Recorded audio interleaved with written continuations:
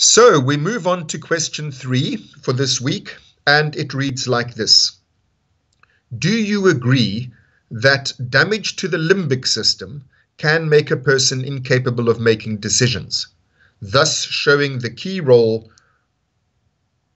of feelings in decision making?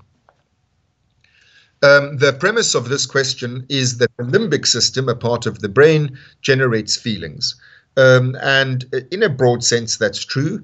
Um, the limbic system is a very important part of the emotional brain, that is to say, the affective brain, the part of the brain that is that is involved in the generating of feelings. But I must just add, it's not the only part of the brain uh, that uh, in which feelings are generated. There are upper brain stem structures which are perhaps more fundamental to the generating of feeling states uh, than the limbic system, but certainly the limbic system is included.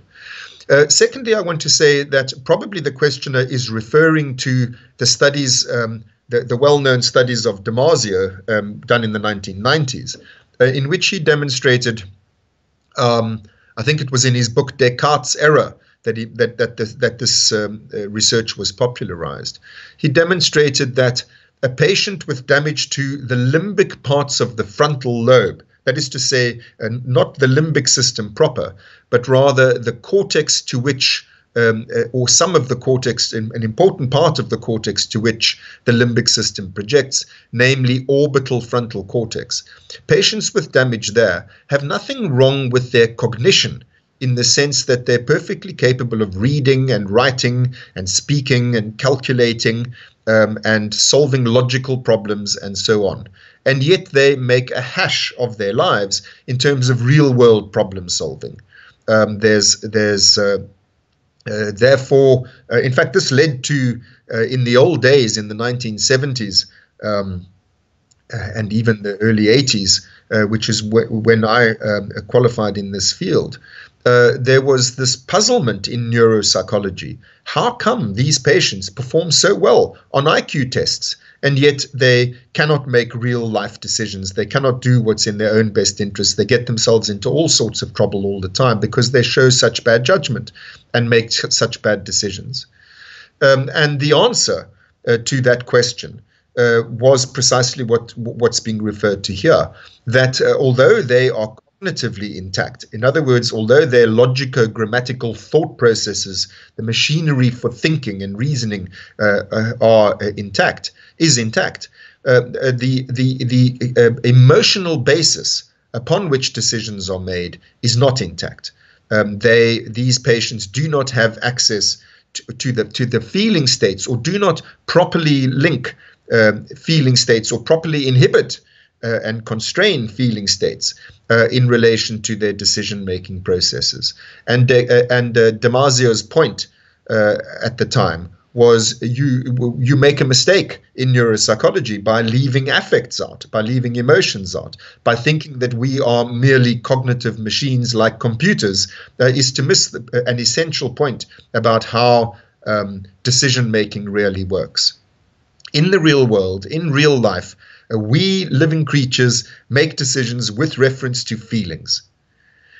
And um, so, to the extent that that's true, which it is, to that extent, I agree with the questioner. In other words, I'm, I'm just qualifying what I'm saying. I'm making clear that it's not only the limbic system, and I'm making clear that, in fact, the literature that's being referred to pertains to limbic frontal cortex rather than the limbic system proper. But nevertheless, the underlying point that's being made, which is that feeling is important for decision making um, and therefore for real world uh, problem solving is absolutely correct. I want to um, emphasize one aspect of this, um, which is that it could not be otherwise. If you think about it, how can you make decisions without a value system? How can you know whether something is better or worse uh, unless there's a scale by which you determine what better and worse mean? And uh, an absolutely essential point that I'm wanting to make in this course, this course, is that that scale of values, that uh, value system which underpins mental life, is affect, is emotion, is feeling. Feelings, good and bad feelings, uh, are the value system of us living creatures, at least of us humans, and uh, as I'm going to argue in this course, of, of a lot of other creatures besides. So the capacity to feel is an absolutely fundamental evolutionary advance um, that distinguishes um, us from, for example, computers. Computers, like the frontal lobe patients that Damasio studied, have perfectly intact logico-grammatical information processing systems, but they don't attach those logico-grammatical information processing activities to the values. They don't properly connect them to the value system that feelings represent. And so, uh, to put it in a very simple sort of way, you know, if you're trying to decide, am I getting closer or further away uh, from my destination, uh, you feel anxious if you're getting further away. You feel lost. Uh, this feels bad. This is not good. I'm not getting there. Uh, that's that's how we know how we're doing. Uh, that's what feelings are for. They tell us how we are doing within a biological um, scale of values. And when I say a biological scale of values, I must remind you that feelings, pleasurable ones, uh, mean what you are doing now is is ultimately in your in biological interests in the sense that it enhances your chances of surviving and reproducing in the very most basic sense that's what uh, uh, uh, biological values are so pleasurable feelings mean this is good for my survival and reproductive success.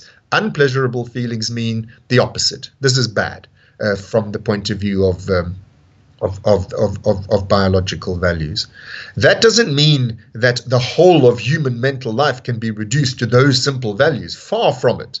But that seems to be the most elemental form. And uh, then we have much more complex forms built over that, which I'll be telling you about in weeks to come. So that's my answer to question three.